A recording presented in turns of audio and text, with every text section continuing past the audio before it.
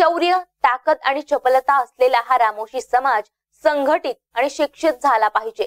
त्यातून देशाची प्रगती होईल. समाजातील मुलांना सैनिकी शिक्षण मिळावं म्हणून बिवडी येथे सैनिक भरती पूर्व प्रशिक्षण केंद्र उभारणार असून यासाठी लागणारी पहिली मदत ही माझी असेल असं प्रतिपादन खासदार अमर साबळे यांनी केलं. भिवडी येथे राजे उमाजी नाईक यांच्या दोनशे अठ्ठावीसाव्या जयंतीच्या कार्यक्रमाचं आयोजन करण्यात आलं होतं. हुतात्मा स्मारकास मानवंदना देण्यात आली. त्यानंतर खासदार अमर साबळे यांच्या फंडातून बांधण्यात आलेल्या सभागृहाचं उद्घाटन करण्यात आलं. गेले एक ते दीड वर्ष ह्या कामाचं उद्घाटन झालं होतं. पहिले भूमिपूजन झालं. त्याच्यानंतर ना आता हे काम पूर्णत्वास आलेलं आहे. आपलं काय म्हणणं आहे यावरती? आनंद वाटतो की एक वंचित असलेला समाज त्या समाज समाजाला एक प्रेरणास्थान असलं पाहिजे.